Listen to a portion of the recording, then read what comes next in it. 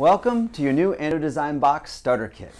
This is how it will arrive in your beautiful double wall shipper. You can cut right down the middle because the flaps overlap so you won't damage any of the contents inside the box. And you can actually reuse this box to ship your display ready pallet to your client. Inside you will see a couple features. There's a handle here that you can reach all the way through. You can see the protecting inserts around. Uh, you also find a secret weapon. You don't have to use this, but this is clips and pins and Velcro tabs to help you hold samples in place. If you want to use it, it's up to you. This is kind of like a designer's briefcase. Pretty simple to work with. A couple quick tips. You can lift up from the edge, slide the cardboard sleeve right over your hand.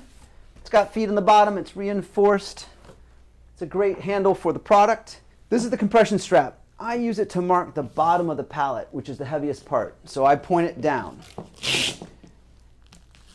I don't usually take the whole thing off.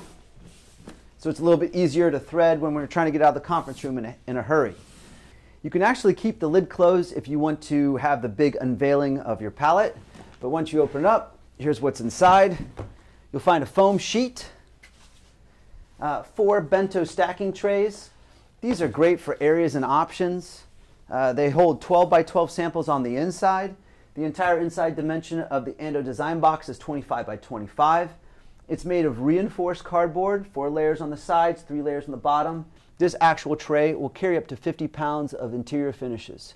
Designers are getting six months and much more out of the trays. And when you're packing it, you really just want to take up the space. So fold, cut, manipulate the foam in any way that you want to. If you have an architectural sample in here, you want to fill the space around it. And then this is actually perfect to have the box a little bit open because you really want to compress the box with the strap. That's really what's going to help hold everything in place. And you really do just compress, get that all the way tight. Pull the box to the side of the table. Compress your sleeve just a little bit to open it up. One hand inside slides the cardboard sleeve right over the compression strap. That friction between the compression strap and the cardboard sleeve helps it to stay in place. There's also a little bit of friction tape on the bottom of the sleeve. But that is your Ando Design Box Starter Kit.